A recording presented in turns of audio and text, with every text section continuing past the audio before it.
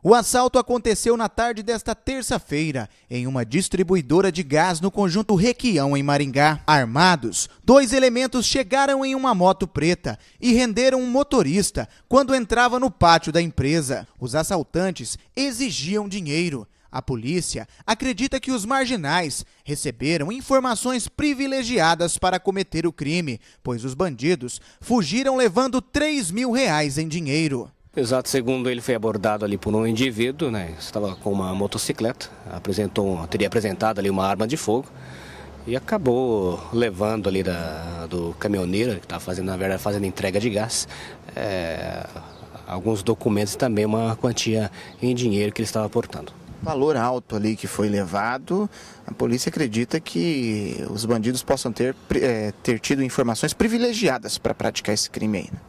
É, Para afirmarmos isso, vai depender, claro, das, das investigações que, que seguirão, mas é uma linha de investigação e, e existe sim essa possibilidade.